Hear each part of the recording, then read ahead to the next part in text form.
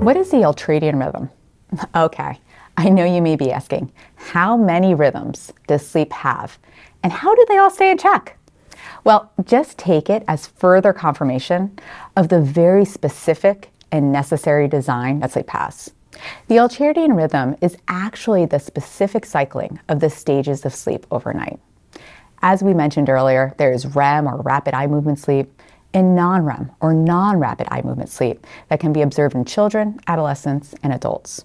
What is interesting is that similar to how we discuss the developmental changes we observe in the duration, timing, and consolidation of sleep over time, we see similar processes occurring in the ultradian rhythm. Again, reinforcing the fact that sleep provides a great representation of brain development and health. In infants, when they are born, they clearly have an immature brain, which is also represented by their sleep.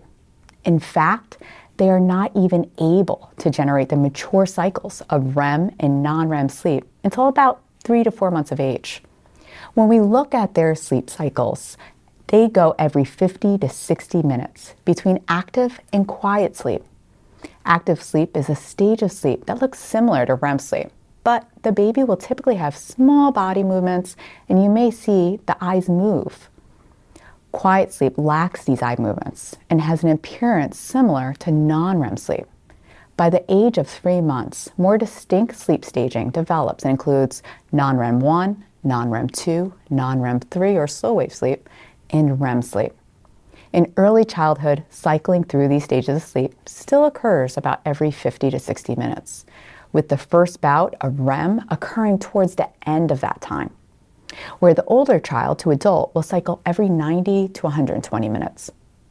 To illustrate what a normal night of sleep might look like in an older child or an adult that cycles every 90 to 120 minutes, we see this sleep representation called a hypnogram. A hypnogram gives a full night view of our sleep cycling. As you can see, we tend to fall asleep first into our lightest stage of sleep N1 sleep. This is the initial transition from wakefulness to sleep. In this stage of sleep, we typically will find that the normal waking rhythm or alpha rhythm observed on an EEG would start to slow down and be replaced by a slower frequency called a theta rhythm. We will also start to see that the eyes may have slow, rolling eye movements during this time. We then may enter into N2 sleep. This stage of sleep also has a theta rhythm, and slow rolling eye movements, but has some very unique features called K complex, vertex waves, and sleep spindles. The next stage of sleep is N3, or slow wave sleep. This is our deepest stage of sleep, which also makes it the hardest to wake someone from. In this stage of sleep, there's even more slowing, down to a delta frequency, that tends to have very big waveforms, especially in the front of the brain, or frontal lobe. We tend to have our biggest chunk of time in slow wave sleep in the beginning of the night, and that progressively decreases over the course of the night.